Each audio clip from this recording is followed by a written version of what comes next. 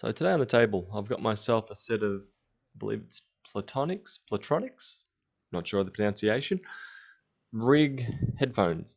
Now these ones are just a headset for a PlayStation, and what's happened is the headphones on the right hand side in this current frame has been damaged. So the wire itself has been, I believe, bitten or cut.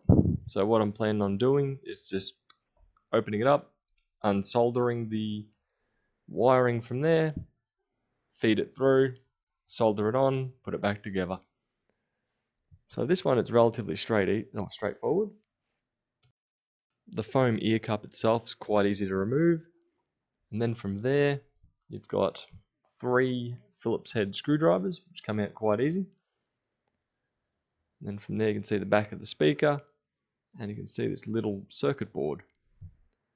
Now, feed enough cord through, I should be able to move it to a workable position.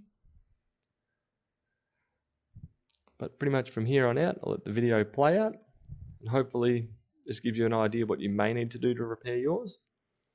So this this one purely didn't have audio going to one speaker. And with this repair, it's all sorted and all good to go.